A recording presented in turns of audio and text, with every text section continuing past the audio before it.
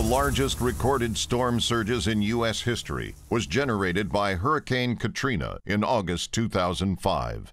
The surge of more than 25 feet entered the confluence of the Mississippi River Gulf Outlet and Gulf Intracoastal Waterway, overtopping and collapsing a 4,000 foot long levee section, causing widespread flooding, massive destruction, and death in New Orleans and surrounding areas.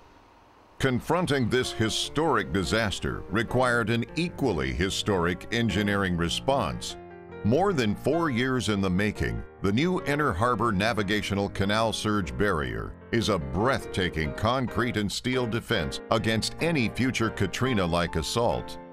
At 26 feet tall and nearly two miles long, the new structure is the largest storm surge barrier in the world and the largest civil works design build project in U.S. Army Corps of Engineers history. It is built to withstand a once in a 100 year storm surge. The exterior perimeter where we fought the surge was right in the backyards of people's businesses and people's homes. And so one of the thought processes that we had to go through was how can you move that perimeter back? How can you fight the surge further away from downtown New Orleans? And so we picked this location for a couple of reasons, uh, but it's approximately 12 miles outside the center of the city. So where you used to have uh, an external perimeter that was an 11 foot high flood wall, now you have an external perimeter that is a 26 foot high surge barrier. It is a significant increase in the risk reduction for the Greater New Orleans area.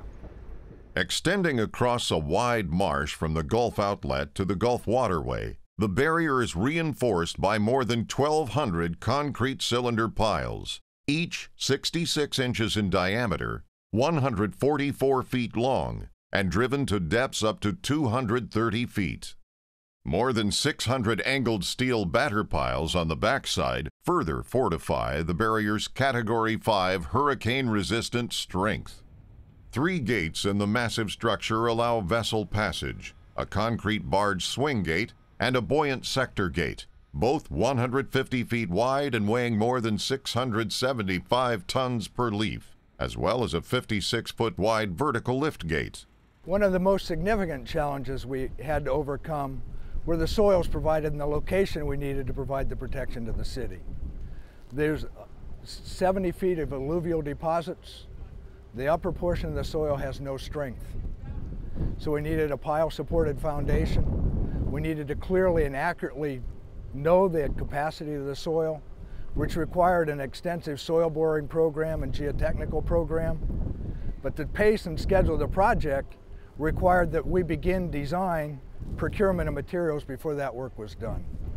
We've provided the design for a structure that is resilient, robust, and very strong. The Lake-Borgne Surge Barrier stands as a truly remarkable triumph of engineering achievement that vastly enhances safety and security for the residents of New Orleans.